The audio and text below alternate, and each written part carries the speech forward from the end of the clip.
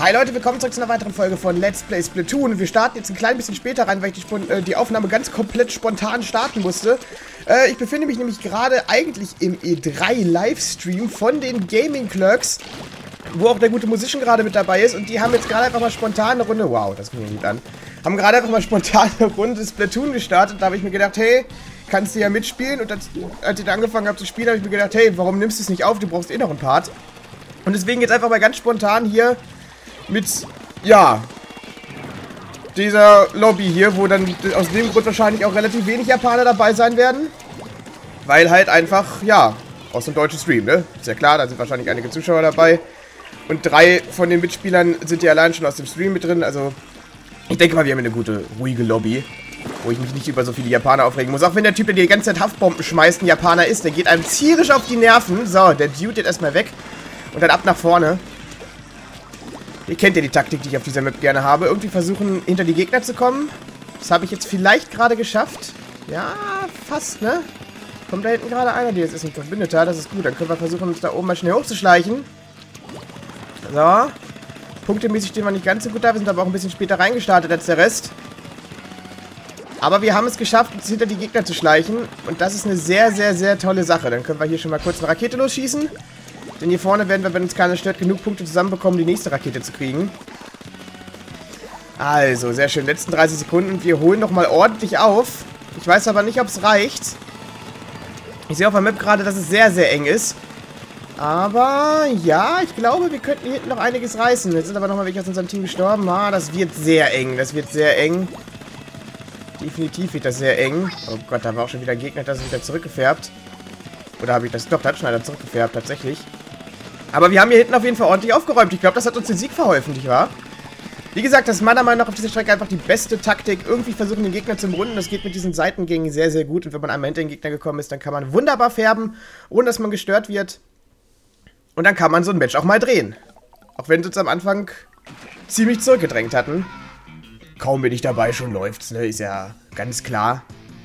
okay, gut. Haben das gewonnen? Bester im Team, was auch sonst. Nein, jetzt. Das ist ein bisschen überheblich, ich weiß, aber. Äh, komischerweise bin ich tatsächlich sehr, sehr häufig der Beste im Team, aber ich gewinne komischerweise auch nicht ganz so häufig. Also ich sag mal so 60 oder 70 Prozent der Partien gewinne ich. Aber es macht halt in diesem Spiel nicht ganz so viel aus, wenn nur einer gut ist. Man braucht hier halt echt ein gutes Team. Was ich auf jeden Fall verblüffend finde, ist, dass tatsächlich der Japaner der einzige Level 20er hier ist. Alle anderen sind noch nicht Level 20.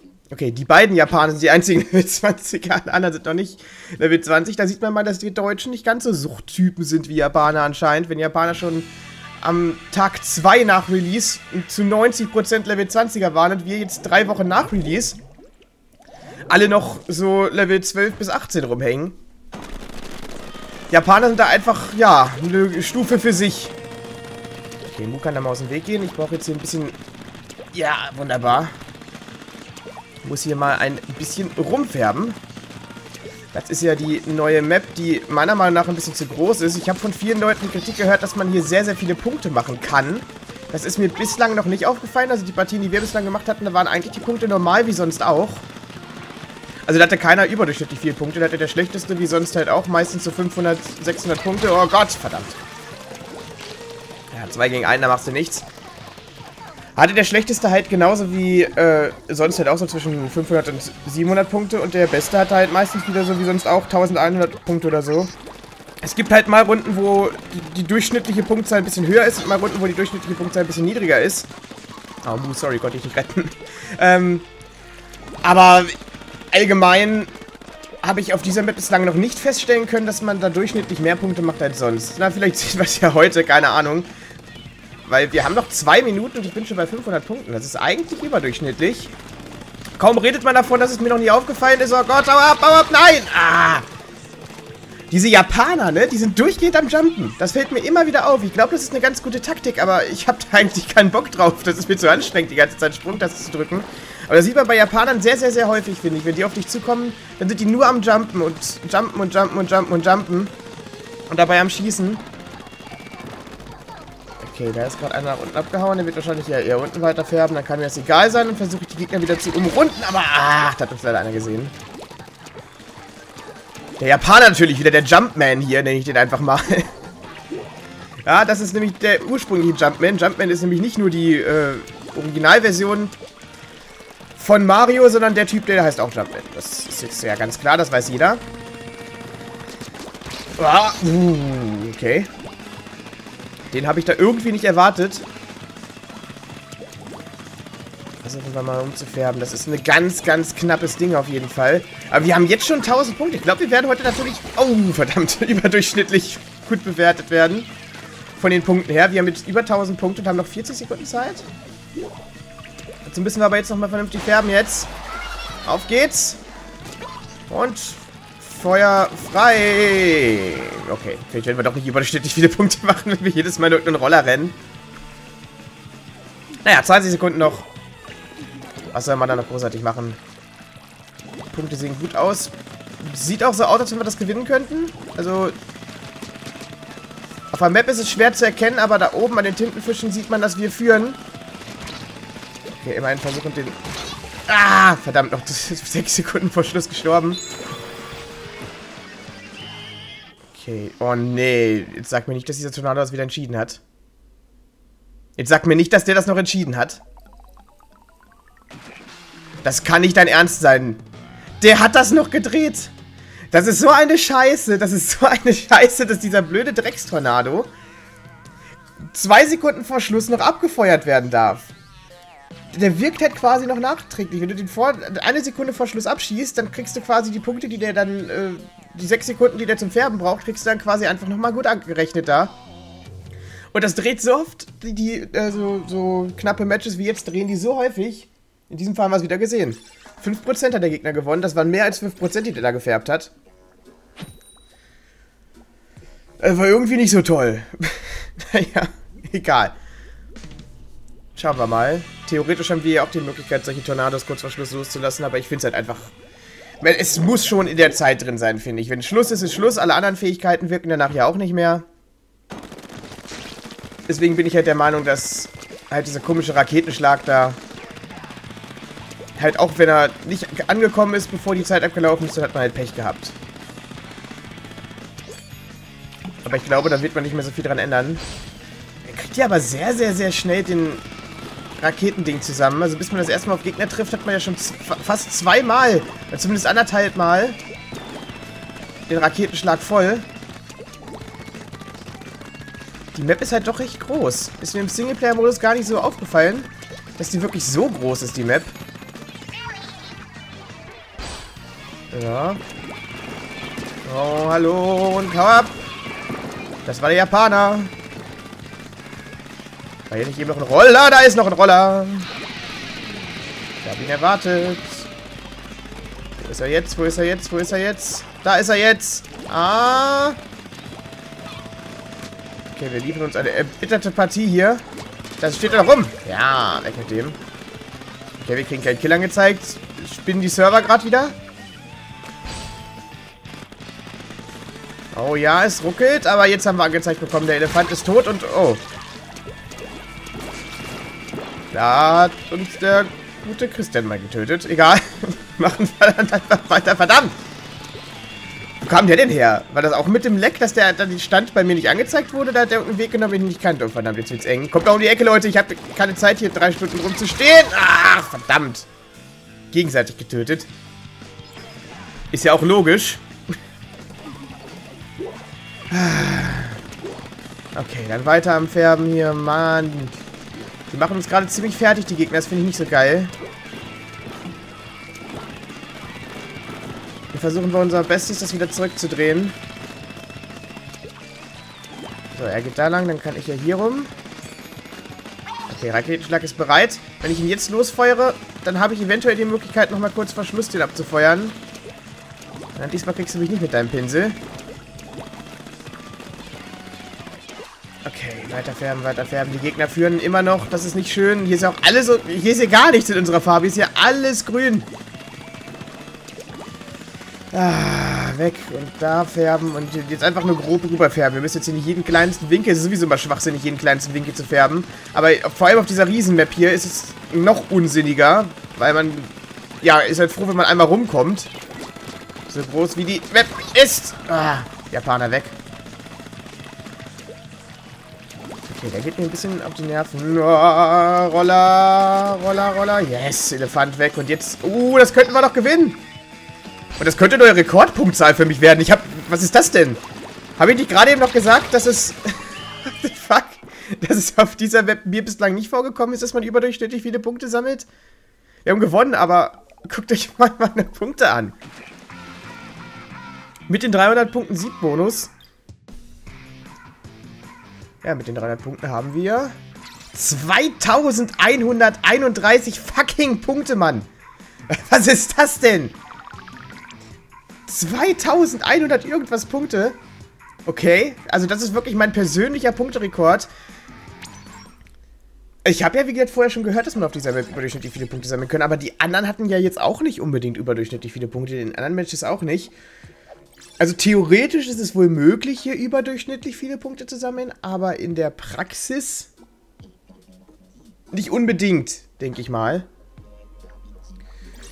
Ja, komm, letzter rein, jawohl. Dann sind wir wieder vollzählig. Keine Ahnung, die Sony-Pressekonferenz sollte jetzt gleich auch starten. Also denke ich mal, wird es noch so ein, zwei Runden geben. Obwohl, ja, 15 Minuten haben wir noch, aber ein bisschen früher wird man ja wahrscheinlich da auch im Stream dann ausschalten, denke ich mal, damit man dann alles umstellen kann. Wie gesagt, das war jetzt eine sehr spontane Aufnahme, die wir hier gemacht haben. Eigentlich hatte ich heute Abend nur vor, die E3 zu gucken. Aber da habe ich mir gedacht, hey, meine Uploads und Render-Vorgänge, die ich parallel lau habe laufen lassen, sind jetzt auch alle vorbei, weil ich hatte ja gestern schon den gesamten Abend und Nacht Zeit, um das alles zu rendern und hochzuladen und was weiß ich. Und jetzt muss ich noch einen Part rendern gerade und noch zwei oder so hochladen, deswegen habe ich das alles mal kurz pausiert. Oh, verdammt. Äh, oh, verdammt. Oh, verdammt. Der hat uns gesehen. Deswegen habe ich das hier gerade alles mal kurz äh, pausiert und habe gedacht, hey, wenn die jetzt E-Splatoon spielen, dann mache ich einfach mal eine Runde mit. Dann kann ich zumindest noch die Zeit hier sinnvoll nutzen, die ich auf die Sony-Pressekonferenz warte. Und ja, noch ein paar Splatoon aufnehmen. Und dann haben wir ja quasi in unserem Splatoon-Let's Play, auch wenn natürlich keiner von denen mich wirklich kennt und auch keiner von denen mich mitkommentiert hat, aber trotzdem vielleicht schon ein paar Berühmtheiten gehabt. Bei Nintendo streiten sich ja die Geister. Ein paar sagen, das war er, ein paar sagen, das war er nicht. Ich bin mir nicht sicher. Ist aber auch egal, selbst wenn das nicht war. Ich weiß, dass der Volo, der mal dabei war, der richtige ist. Und jetzt haben wir die Gaming Clubs und die Musician auch mal dabei gehabt. Also quasi unbewusst haben wir jetzt hier mehr oder weniger ein paar größere YouTuber mit dabei. Aber gut, Splatoon ist natürlich auch für Wii U, ne? Und... Oh Gott. Ah, stirb! Was ist los? Ah, okay. Verbindung. War super. Wir sind an zwei unterschiedlichen Orten geplatzt. Alles klar. Dabei war unsere Aufladeleiste oben fast voll.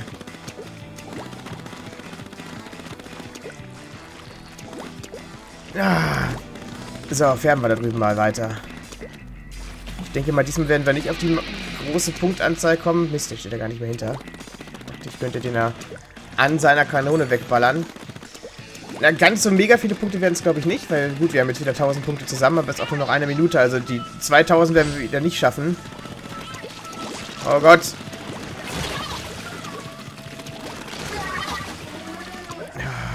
Sehr schön. Wu macht das. Färbt weiter. Wir können gewinnen. Sieht sogar sehr gut aus für uns. Die Mitte gehört denen. Ja, die färben... Also, obwohl da oben Gefahr steht, haben die trotzdem noch einen ganz, ganz großen Teil der Map für sich. Also, so eindeutig ist es gar nicht, wie die Tintenfische da oben eigentlich anzeigen. Aber egal. Das wird schon. Das wird schon. Ah! Lass das doch mal, Nico. okay, sehr schön. Der hat der Titane niedergeballert. 10 Sekunden, vielleicht können wir noch so ein paar Farbkleckse hier umfärben. Ah! Ja, okay. Ja, das war dann doch etwas eindeutiger. Wir haben gewonnen. Gewonnen haben wir. 61,5. So, und wieder der Beste in unserem Team. Ich muss mich hier an dieser Stelle natürlich entschuldigen, dass wir äh, keine neue Waffe genommen haben, sondern wieder die Airbrush MGRG Dingensbummens. Aber wie gesagt, das war jetzt alles komplett spontan entstanden. Ich habe nur gehört, aha, die spielen Splatoon, alles klar, will ich mitspielen. Also habe ich mir dann halt einfach schnell Splatoon angeschmissen, habe schnell die erstbeste Waffe genommen, bin reingejoint und habe dann, der, als die erste Runde gestartet ist, mir schon gedacht, Moment, theoretisch könntest du ja auch aufnehmen, wenn du jetzt eh spielst. Also habe ich hier noch mein Aufnahmeprogramm gestartet und dann so mitten in der Runde einfach schnell auf Aufnahme gedrückt, während ich noch am Spawn rumstand. Da tat mir mein Team schon ein bisschen leid, dass ich in die ersten paar Sekunden AFK war, aber dafür habe ich ja dann im Endeffekt auch in der ersten Runde den Sieg dann gerissen, indem ich hinten bei denen alles gefärbt habe. Also ich habe mich ja revanchiert für mein Team. Und deswegen tut mir leid, dass wir jetzt wieder keine neue Waffe sehen. Ab dem nächsten Part ist es wieder mit einer neuen Waffe am Start, aber das ist jetzt, wie gesagt, eher so ein kleiner Special-Part, der eigentlich gar nicht geplant war. Aber wenn man halt eh gerade beim Warten auf die E3 Sony-Pressekonferenz spielt, dann kann man es auch aufnehmen. Verdammt, ich hasse... Ah! Also muss man sagen, der Christian ist echt gut mit dem Pinsel. Und der Dude hat, kann Zaubertricks. Der kann sich aus der Luft wieder zurück teleportieren nach oben. Muss man auch erstmal hinkriegen.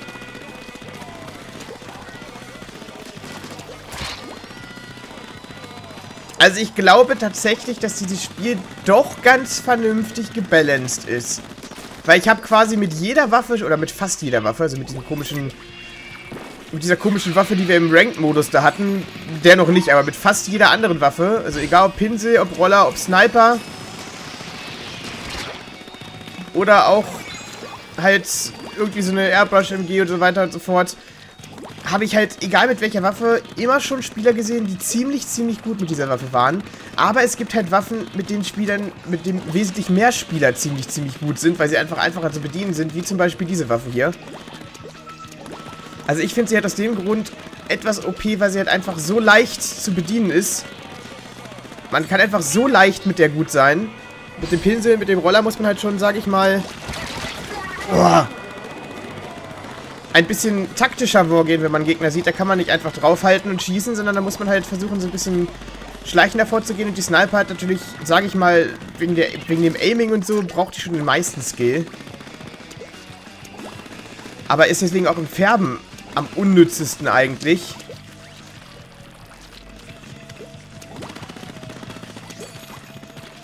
Oh, verdammt, ja. Und...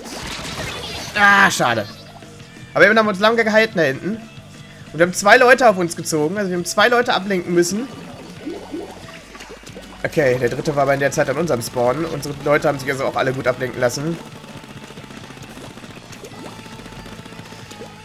Ah, jetzt müssen wir hier irgendwie dagegen färben. Das sieht ganz schlecht aus. Das sieht ganz schlecht aus. Jetzt bei uns an der Basis hier ist alles gelb. Ich glaube, die Runde, die werden wir verlieren. Ich glaube, mit der Runde hier wird es nichts. Aber naja, sollte auch die letzte Runde sein, denn in sechs Minuten geht die Sony-Pressekonferenz los. Und da werden wir sicherlich keine Runde mehr spielen. Deshalb war es das dann mit der letzten Runde für diesen Part. Und es kam tatsächlich nochmal eine Kackrakete runter, ne? Es kam in letzter Sekunde nochmal eine Kackrakete bei von denen runter und es reicht wieder für den Sieg. Es reicht wieder für den Sieg. Die haben über 1% der Map mit der Rakete gefärbt und haben somit natürlich 2% zu uns gut gemacht. Diese Rakete hat es in der letzten Sekunde wieder gerissen. Aber wir waren zumindest wieder der Beste auf dem Server. Da kann, das kann ich jetzt zumindest als Positivpunkt zusprechen. Und ja, wie gesagt, das war's dann mit diesem Part. Ich schaue mir jetzt die Sony-Pressekonferenz an. Wenn ihr diesen Part hier seht, sind die E3-Pressekonferenzen eh schon alle durch. Aber ich freue mich drauf. Ich hoffe, ihr hattet Spaß mit diesem Part, der ziemlich spontan entstanden ist. Wir sehen uns beim nächsten Mal wieder. Also bis dann und auf Wiedersehen.